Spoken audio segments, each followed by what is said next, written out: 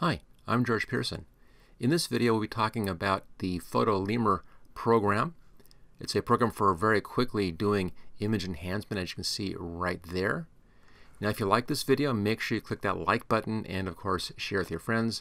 Hit subscribe as well so you don't miss out on any videos in the future and you'll find my complete training courses there's a link for that right down there in the description. And that, of course, is for lots of different graphics programs like Lightroom and Photoshop Elements and Adobe Photoshop and so forth. Okay, let's get to it.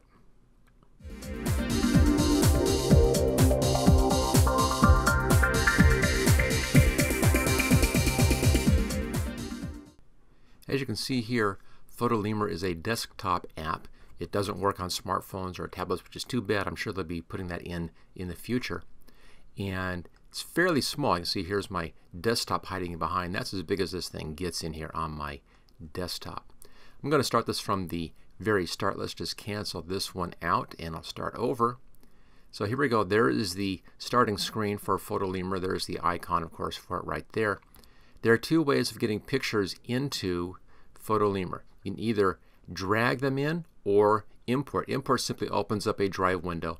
Find the picture you like, like that one right there, choose open, it then opens that up. Now as soon as the picture opens, PhotoLemur goes through, examines the picture, and then does its corrections. And that's it. That's what it does. I mean, it's very, very fast as you can see and does a real nice job. The only adjustment you have is right down here where you can choose how much of that adjustment has been applied. So it's really kind of a one-trick tool, but it does a real good job to do a very fast image enhancement and adjustment. It's very good for people who are doing a lot of photography, doing a lot of photos, and they want to have a quick fix on their pictures. Good for people doing social media, things like that. So it has a lot of that kind of use. You don't have to go in and open up a big program like Photoshop or Lightroom and use all those fancy tools. Obviously, you get the best results from a real large program like that. But for just a fast fix, this is a great little tool. It's also not that expensive. It's about 40 bucks right now, a little under 40 bucks right now, so it's fairly inexpensive as well.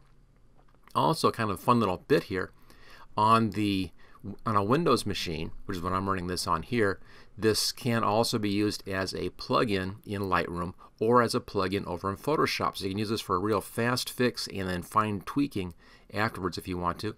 Over on the Mac, it can also be used as a plugin for Lightroom or for Mac Photo. It doesn't work as a plugin for Photoshop on the Mac yet. I'm sure they'll be adding that in soon as well.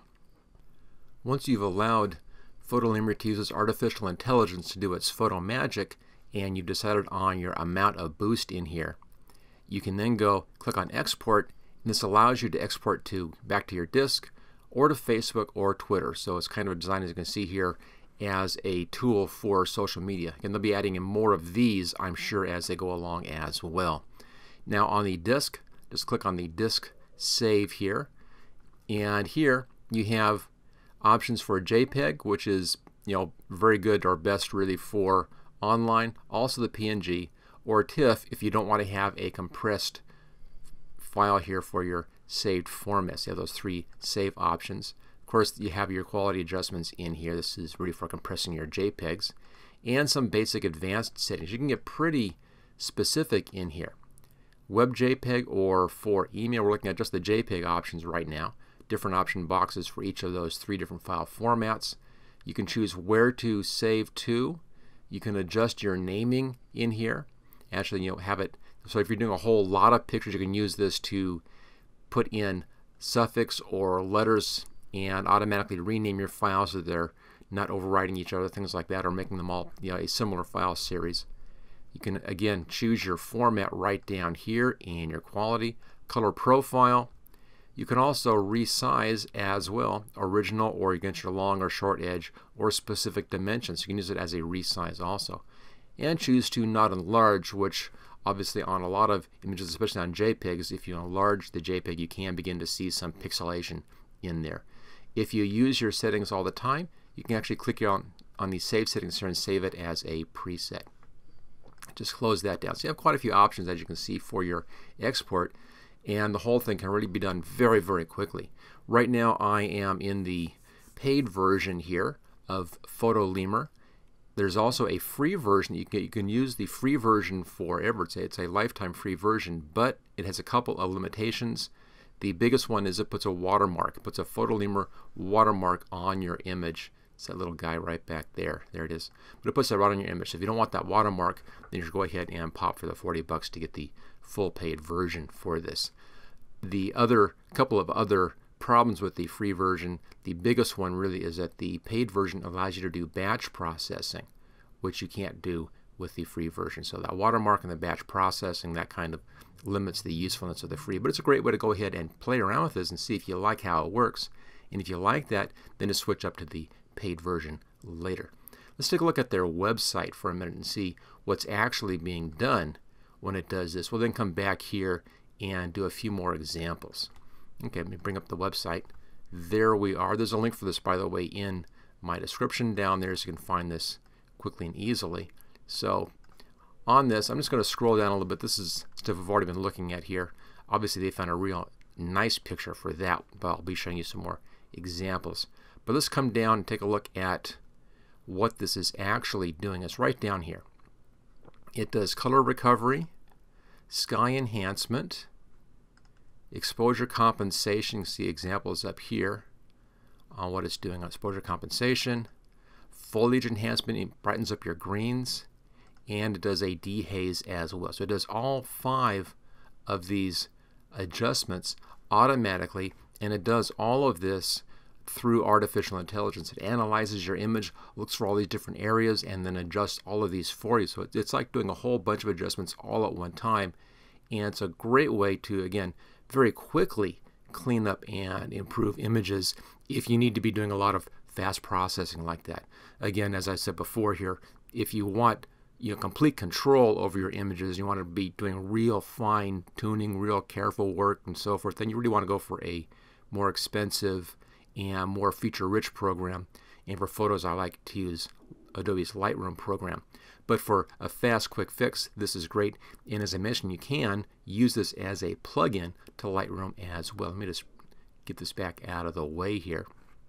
If you go right up here on the name, little, little arrow right there is kind of hidden. Click on that. There's actually a little window here. You can import images right there, import more images, or click on the import more button over there.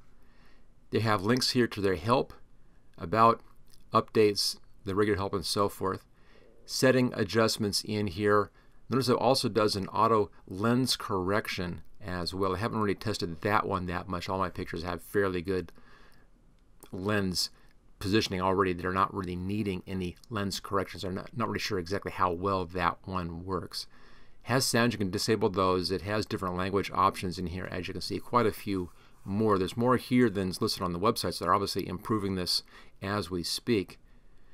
What I wanted to show you though here is the install plugins. Now again, I'm on a Windows machine, so I can install this to Lightroom right there as a plugin, and I can also install it to Photoshop as a plugin as well. And it's a real nice way, especially if you like working with Lightroom, use this tool for a real fast, quick adjustment, and then go in and tweak if you want to or need to in Lightroom. Let's cancel that out.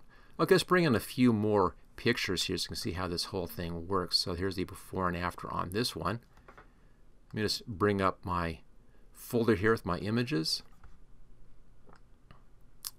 There we go. I'm going to shrink this down a bit so it's a bit easier to see. And I'm just going to drag some. Let's just take this image right here. Let's drag this over. And it adds it into the image set up there. Now again, this is the paid version so I can come in and actually bring in several pictures. I'll do this with a shift key and just grab all of those at once. Bring this all in as a batch and I'll bring in the rest of these as well. There we go and get that out of the way. So pretty easy to bring these in. Now once you have them in here, all you do is you just double click on an image. It goes through, does its analyzing, and does its quick fix does a real nice nice job. This one didn't need that much, but that's basically what I did with this photo in other programs. I've used this in a couple of my different videos, and that's pretty close to what I did anyway. Notice that these come in as floating windows, kind of interesting thing. They're floating in here in front of your gallery back there. Let's just close that down.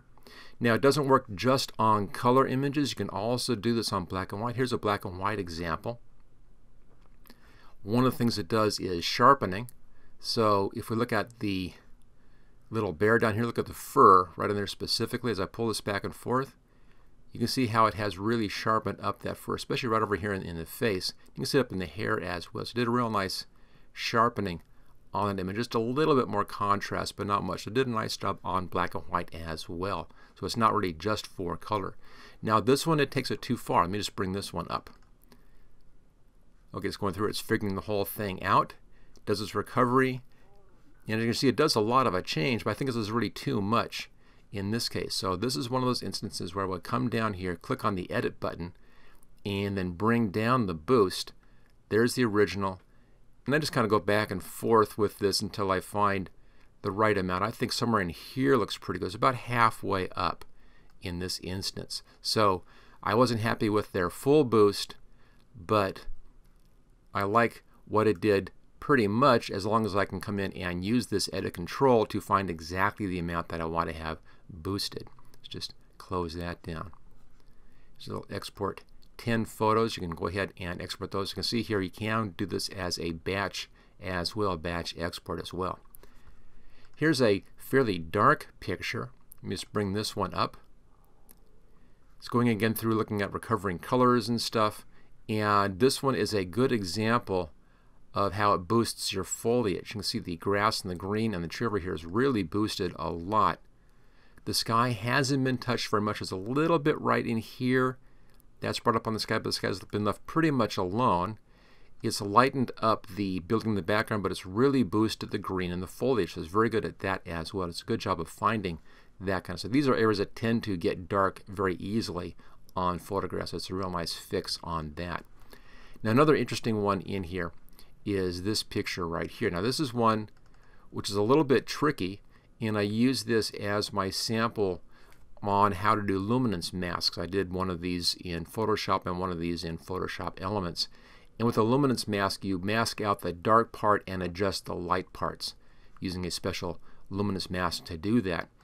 And this went through and did that pretty well all by itself. It didn't have to go through and do a luminance mask. It actually did that brightness improvement without going to all the trouble of making one of those luminance masks. So it solves that problem very nicely. Very, very useful on things like this where you have a dark sky, dark background, and you want to just increase the light areas in your foreground. So again, real nice. It can do this so easily without going to all that trouble of making one of those luminance masks. Let's just do one more of these in here. Let's do this one right there. Again, it goes through and checks. This again has a dark background and light foreground. It's very, very similar to the luminance mask issue where you want to increase the brightness of your foreground and ignore the darkness of the background. It does a pretty good job of doing that, especially on those strawberries down there. The background's a little bit lighter, but not much. It really hasn't touched that very much, and it's put most of its attention into sharpening up and brightening up your foreground. But you can see how fast this works. It's really very, very quick program. That's really the benefit here is you can come in and do very, very fast fixes and adjustments and then go right to your export.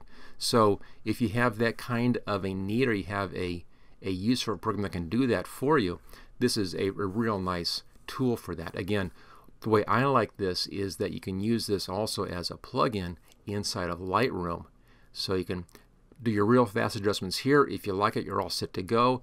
If it needs a few more little tweaks, just tweak those over there in Lightroom. And you can also, as I mentioned, you do batch processing. Just do a selection like that, and you can then batch process multiple files. If you're working with the paid version, which again is just under 40 bucks, so it's really a very inexpensive program as well. So there it is. That's what PhotoLemur is all about. It's, as you can see, a little bit limited on what it can do. It isn't a full-featured image editor, but what it does, it does very well. And that's this real fast image adjustments and cleanup. Let's just do this one here. Last little picture, going through, fixing the colors, and there we go, a little on the dull side, real nice and cheerful here on the cleaned up side.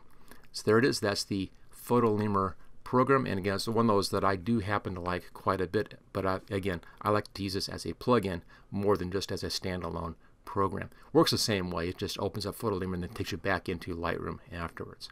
Okay, there's a link for this if you want to find out more about this. Right down there in the description, and they do have that free version, which doesn't have the batch processing and does put a watermark on your picture, but it gives you a chance to try it out and see if you actually like using the program before you make your purchase.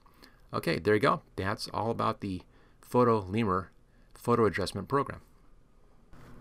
Thank you for watching my video. I hope you found it useful.